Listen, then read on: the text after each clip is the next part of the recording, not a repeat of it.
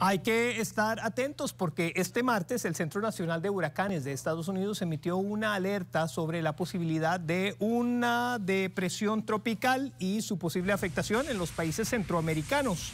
Se mueve en la actualidad a una velocidad de 19 kilómetros por hora y los meteorólogos pronostican que podría ocasionar fuertes lluvias con posibilidad de inundaciones localizadas, así como ráfagas de viento.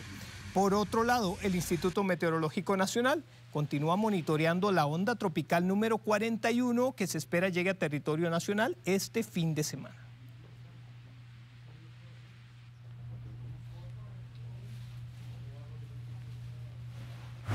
Para este fin de semana los modelos continúan mostrando un aumento en las precipitaciones, esto producto de la activación de la zona convergencia intertropical, además del arribo de la onda tropical número 41.